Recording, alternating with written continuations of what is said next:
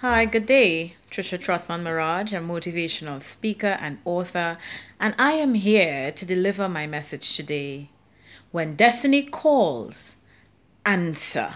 I think it's very important when we reach that stage in our lives when we realize that those things that we have been chasing all of our lives just is not working and we don't get the joy that we feel we should get out of it.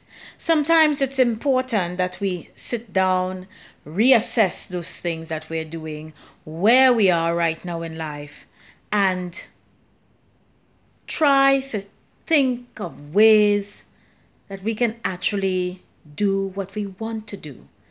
The thing, that passion that's deep down inside of us that doesn't feel like work to us.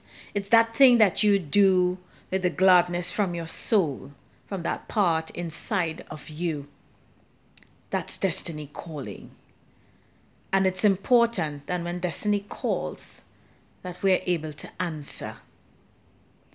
What are you doing in your life? today? Are you truly following your destiny? Are you answering the call upon your life? Are you doing what you were born to do? That's the question.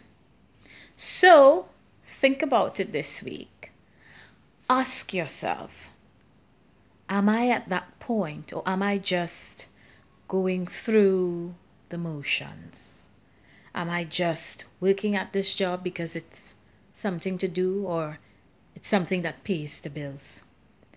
What's the passion that you have inside of your heart? Have a good day, everyone.